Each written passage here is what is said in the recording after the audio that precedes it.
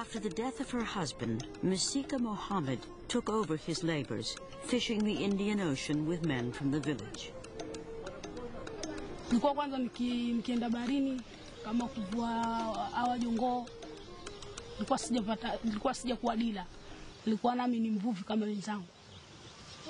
Nikivua alafu nikiuza, kila nikipata matumizi nikatumia.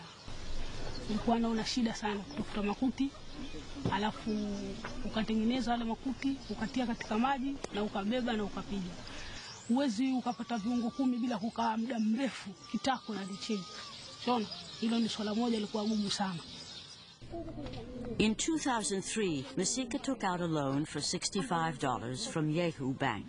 It was enough to get her out of the fishing business and to establish herself as a vendor. Kwa kazi ninayofanya ni kitu rahisi sana. Wavuvi wanaenda baharini kuvua, alafu akirudi mimi naanza kununua ule mzigo na kupika na kuanika kwenye jua na kusafirisha mzigo kwenye soko. Recently, Masika has begun specializing in sea cucumbers when she found that they were in higher demand at the market. Merchants purchase them in bulk and sell them as a delicacy in Asia. With the success of her sea cucumber business, Masika is looking to expand again. She is developing a business plan to purchase products from distant markets and sell them locally. Today, her only complaint seems to be a need for bigger loans to keep up with her plans for expansion.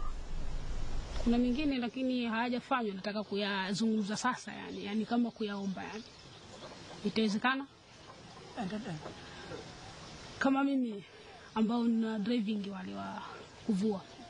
Sasa naona katika chombo nilicho nacho ni kidogo sana, na mkopo ninaochukua ni kwamba katika ile zi- yale majongoo huwa nanunua kwa zile zile pesa zile zile za mkopo, hazitoshelezi kununua chombo kingine ili kutafuta wavuvi wengine. Je, kuna uwezekano kwamba naweza nikapotoa chombo mimi na kutafuta wavuvi nikaongezea ili kuongezea mradi zaidi?